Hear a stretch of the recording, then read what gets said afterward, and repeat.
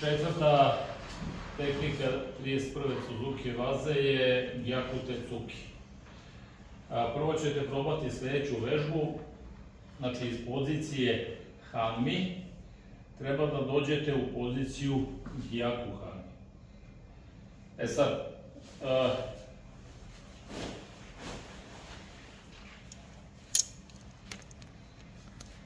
iz ove pozicije ova noga kreće u napred u, tako što peta ide pravo, a prsti idu u polje. Zadnju petu podižete. Znači ovako.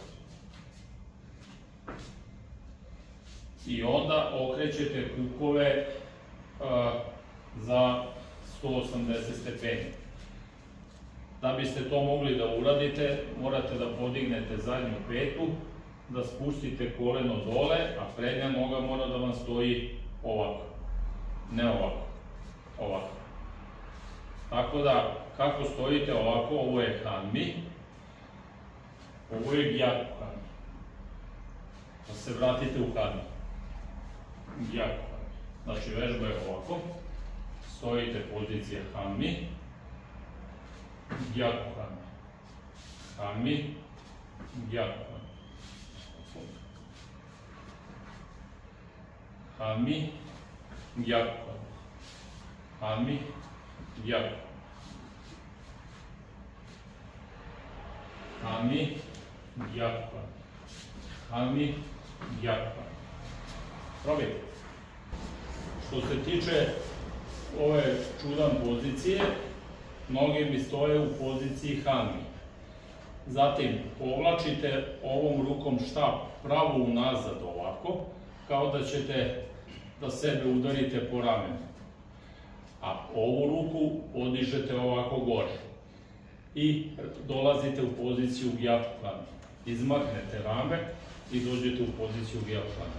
Hoću da probate ovako, znači ove pozicije da dođete u ovu poziciju. Iz ove pozicije u ovu.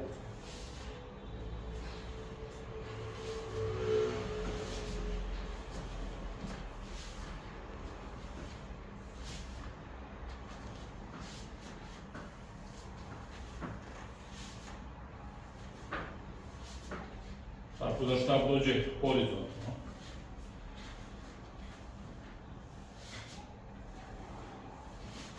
Probajte. Ruka je na kraju štapa. Ova druga ruka je ovdje.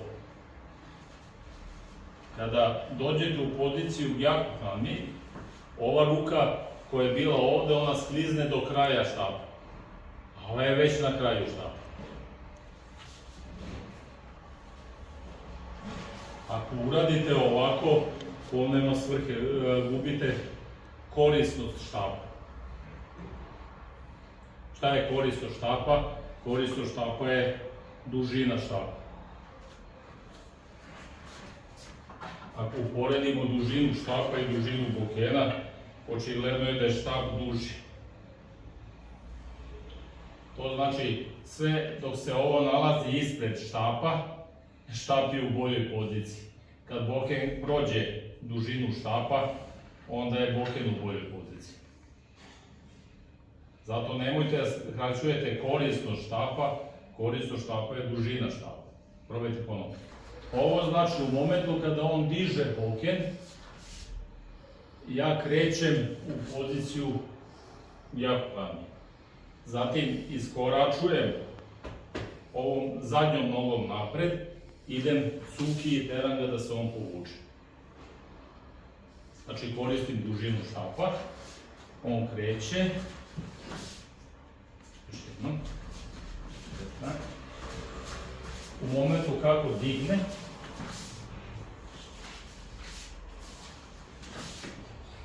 provjerite. Dakle, polako, on je podizao, išli ste u poziciju jakokami, išli ste iskorak, on se povukao posle vašeg cukija. Vratite, znači zadnjom rukom vratite štap nazad, dok ne dođe ruka do kraja štapa. A onda idem iskorak i idem po njemu i oko minući. Znači još jednom, polako. Jedan, vratim, drugi iskorak, dva.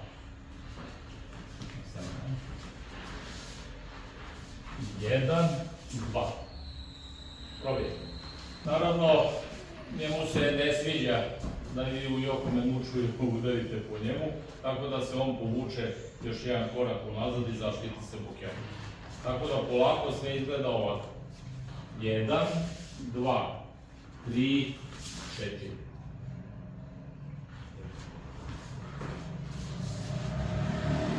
Jedan, dva, tri, četiri. Probajte. Ovako. Dakle, u ritmu.